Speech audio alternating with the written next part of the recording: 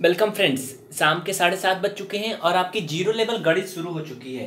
कल की क्लास में आपने देखा था अभ्यास टू का सी आप इस समय पढ़ रहे हैं कक्षा सात की गणित, यानी सेवंथ ग्रेड की मैथ हम लोग इस समय पढ़ रहे हैं फ्रैक्शन फ्रैक्शन में एडिशन मल्टीपल एंड सब्सट्रैक्शन तो आज हम देखेंगे फ्रैक्शन का मल्टीपल लेकिन साधारण मल्टीपल हम लोग नहीं देखेंगे। इसमें चिन्ह का काफ़ी बड़ा खेल होता है। देखिए, यहाँ माइनस नाइन अपान एट है, फिर into minus thirty two upon minus three. तो ये होगा क्या? माइनस नाइन अपान एट वैसे रहेगा। इंटू की जगह पे वैसे हो जाएगा।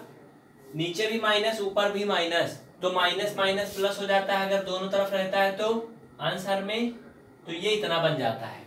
ठीक है? अब चाहे तो आप गुणा कर लीजिए तो आ जाएगा उत्तर। बाद में इसको सिंप्लीफाई करिए। लेकिन पहले काटना आसान होता है। तीन एक कम तीन तीन त्रिक का नौ। और ये कट जाएगा आठ एक कम आठ आठ चौक बत्तीस। तो ये हो जाएगा माइनस तीन, नीचे एक इंटू ये चार बटा एक।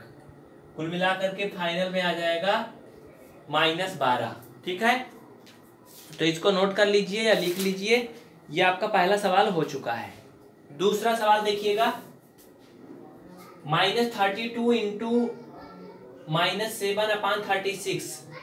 इसको कैसे करते हैं, गौर करिएगा। देखिए, इसमें भी चिन्ह का ही कमाल है। यहाँ पर देखिए माइनस थर्टी टू है into minus seven upon thirty six तो करेंगे क्या? अगर ये कट रहा है तो काट दीजिए, क्योंकि ये ऊपर है, इसके नीचे आप एक लिख सकते हो, है ना? तो ये चार चार से कटेगा, चार नवाई छत्तीस, चार अठे बत्तीस तो ये हो जाएगा माइनस आठ गुड़ा माइनस सात बटा नौ। है ना? इतना सही है? इसके आगे आप क्या करेंगे? इसमें मल्टीपल कर लीजिए, जो भी है, आठ सत्य छप्पन, माइनस का गुड़ा माइनस में होगा तो प्लस में हो जाएगा छप्पन, और ये नौ। कटेगा नहीं, ये आपका आंसर हो जाएगा। है ना? समझ में आया? नोट कर लीजिए। ये दूसरा सवाल भी आपका कंप्लीटली हल हो चुका है। आपके परीक्षाओं में ये सवाल आते हैं और बहुत ही मायने रखते हैं, ये बहुत ही महत्वपूर्ण क्वेश्चन है, ये सिंपलीफिकेशन की दृष्टि से, है ना?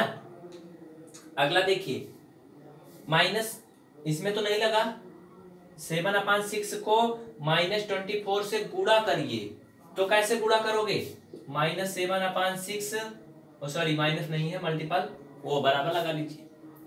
गुड़ा करने का मतलब इसमें गुड़ा का चिन्ह लगा दो और ये माइनस चौबीस। बस, यही करना है। यहाँ पर गुड़ा भी है, माइनस भी है। करेंगे क्या? बिल्कुल नहीं घबराना। इसको काट दो चार से, ये चार, छह से काटेंगे, छह चौक चौबीस, ऊपर चार आएगा। ये आपका सात बटा एक गुड़ा क्या बनेगा? ये माइनस चार। ऊपर ऊपर का गुड़ा कर लेंगे, सात का चार में अट्ठाईस आएगा और माइनस लगा है तो इसलिए माइनस में आएगा। मतलब फाइनल में माइनस ट्वेंटी एट आएगा। समझ में आया ना? तो नोट कर लीजिए, हो गया इतना। है ना? लेकिन इसमें अगर कुछ गड़बड़ है तो बता दीजिएगा। अगर कोई कंफ्यूजन है तो आप निसंकोच बोलिएगा। नहीं तो फिर हम लोग आगे चलते हैं। देखिए, ये बिल्कुल सिंपल से सवाल थे जो आप लोगों ने देख लिया टू का सी में सॉरी डी में। आप देख रहे हैं कक्षा सात की गणित में फिर से बता दूँ आपको। अभ्यास टू का ई देखिए, टू का डी खत्म हो गया। तो अभ्यास टू ई यानी कि एक्सरसाइज टू ई में पहला सवाल जो है, वो क्या है? इसको प्रूव करना है मतलब दिखाना है कि सत्य है, क्या सत्य है। मतलब ये एल है, या आर दोनों बराबर हो सकता है कि नहीं। पहले सॉल्व करेंगे। अगर आप ध्यान से देखिए तो वही फ्रैक्शन इधर भी है, वही फ्रैक्शन इधर भी है। Two upon minus five into minus three upon four इधर है minus three upon four into two upon minus five मतलब केवल हेर फेर हुआ इधर का उधर। तो अगर इसे आप हल करोगे तो उतना ही आएगा। ये देखिए, दो एक कम दो। दो दूना चार। तो ये हो जाएगा माइनस तीन बटा माइनस दस, और ये बीच में बराबर, ये भी कट जाएगा दो दूना चार, दो एक कम दो तो माइनस तीन बटा ये माइनस दस, ये भी आएगा। कहने का मतलब फाइनल में तीन बटा दस बराबर तीन बटा दस आएगा। दोनों बराबर है ना? इसलिए क्या है ये? लिखेंगे सत्य है।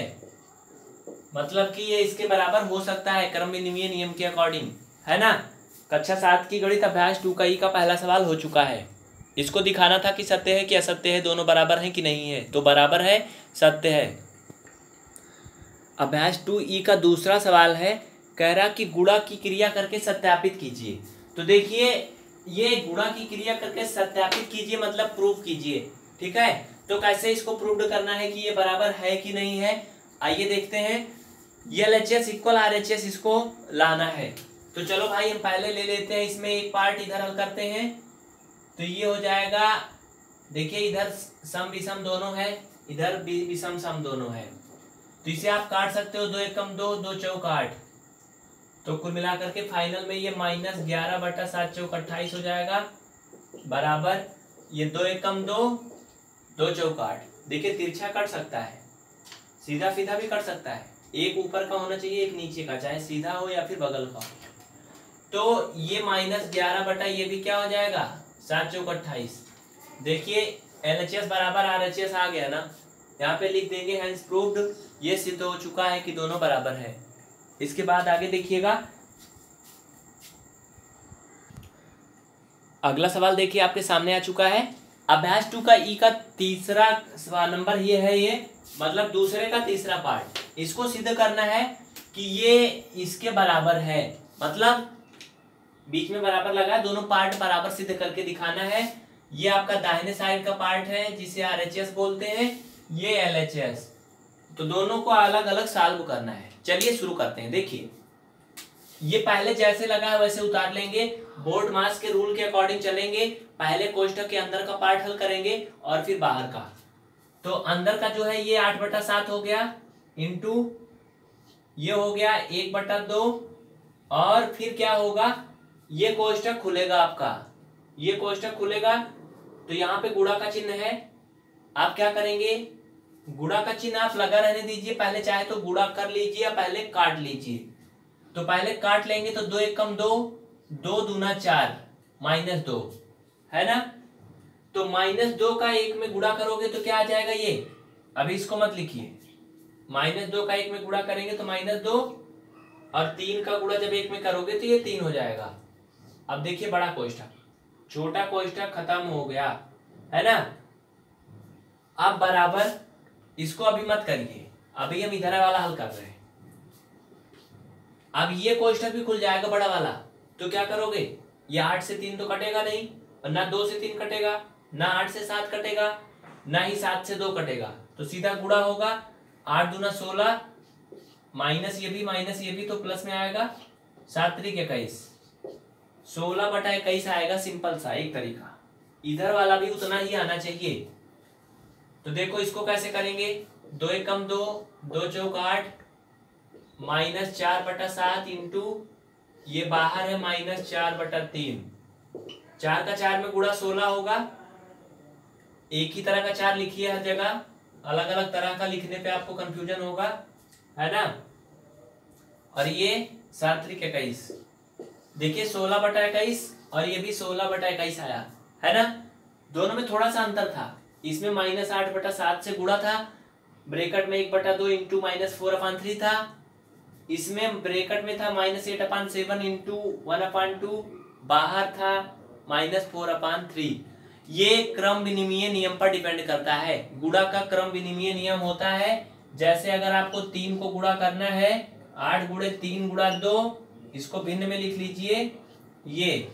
अगर ऐसे करना है तो आप इसको एक बार में ऐसा कर सकते हो, आठ बटा तीन और धन तीन बटा सात गुड़ा कर दीजिए इसमें दो बटा पाँच से, और चाहे तो इसको ऐसे कर लो, दो बटा पाँच धन तीन बटा सात, और गुड़ा कर दो इसमें आठ बटा तीन से। मतलब इसका इसका मतलब एक है हुआ। क्रम विनिमय नियम के अकॉर्डिंग ये अंदर के बाहर बाहर के अंदर हो सकते हैं स्थान बदल सकता है। समझ गए? तो लिख लीजिए। उम्मीद करते हैं आपको समझ में आ गया होगा। है ना?